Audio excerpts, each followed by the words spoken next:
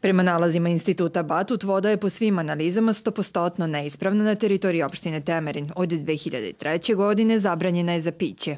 Izgradnjom fabrike vode na lokalitetu Staro Đurđevo taj problem trebalo bi da se reši. S obzirom da ste svedoci da generalno cela Vojvodina nema zdravu pijeću vodu, uh, opština Temer ima isto taj problem. Uh, naši sugrađani čekaju već godinama da rešimo taj, to pitanje. Mi smo upravo danas potpisali ugovor i uskoro ćemo raspisati javnu nabavku.